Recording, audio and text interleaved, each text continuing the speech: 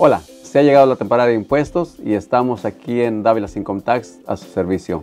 Hemos estado en el campo de Income Tax por más de 30 años dando servicio a la comunidad hispana. Les ayudamos en su uh, declaración de impuestos, en su renovación del LITIN, en aplicaciones del LITIN, en traducciones, en cualquier campo de, Income Tax. Les ahorramos dinero, les conseguimos los máximos en créditos. Estamos en el corazón de la villita, en la Central Park, la 26. Gracias por el patrocinio que nos brindan. Estamos para servirles.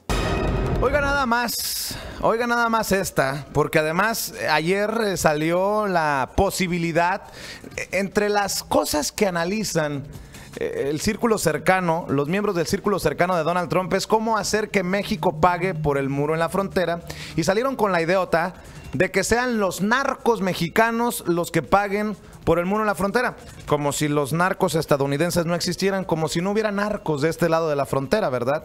y no estoy defendiendo a los narcos mexicanos, pero ahora resulta que a Luis Videgaray, el secretario de Relaciones Exteriores de México, le complace esta propuesta para que los narcos paguen por el muro. O sea, no, ya no estamos oyendo una negativa hacia el muro de la vergüenza, que el muro entre ambos países sería eh, un, un símbolo de división. Bueno, pues que va el muro, pues va el muro y que lo paguen los narcos, ahí le va. El secretario de Relaciones Exteriores considera como un avance positivo que sean los narcotraficantes quienes paguen el muro que pretende construir el presidente de Estados Unidos, Donald Trump.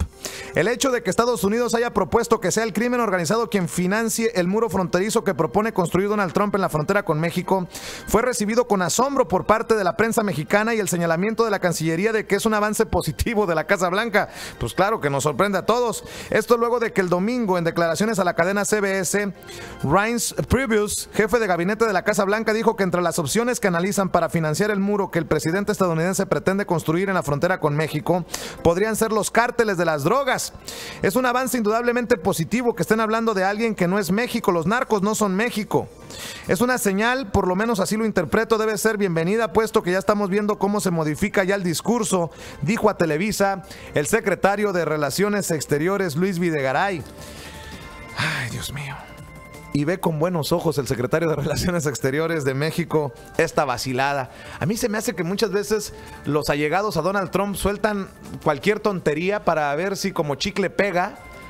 Y a veces pega y hasta le siguen el cuento los políticos mexicanos como Luis Videgaray.